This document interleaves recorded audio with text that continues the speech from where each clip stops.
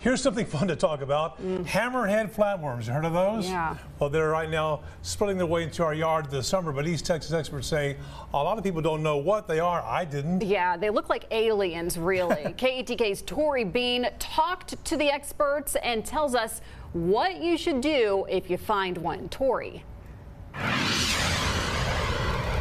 Neil Casey, hammerhead flatworms live in hot, humid climates and are commonly seen during the spring and summer. During the day, they can be found under rocks, in gardens, and even in greenhouses. But you may not know what to do if one slithers in your path. Rochelle Helms lives in Noonday, and while gardening in her yard, she came across something unusual. I saw something moving, I thought was a worm, and then I saw the head on it, and I thought, oh my gosh, that's one of those I've been seeing on, on Facebook. So I, that's when I put the pot down and got the little bin so I could collect it. She had found a hammerhead flatworm in her yard. Now she is worried to let her dog outside.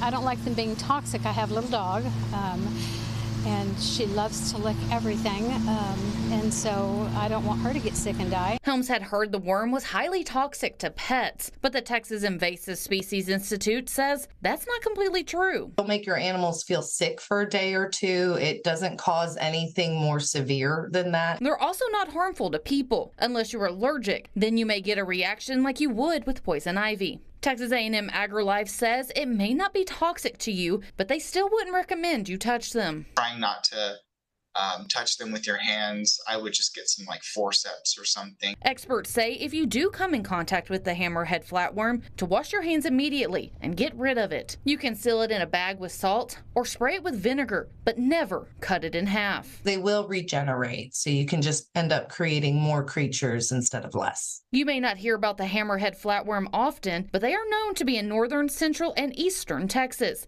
since 1901. The fact that they've been here for so long and we really haven't seen any sort of negative impacts yet, I would say no, that there is no worry. If you find a hammerhead flatworm, let somebody know. Send a picture and the place you found it to Texas A&M AgriLife or the Texas Invasive Species Institute so they can keep track of the population.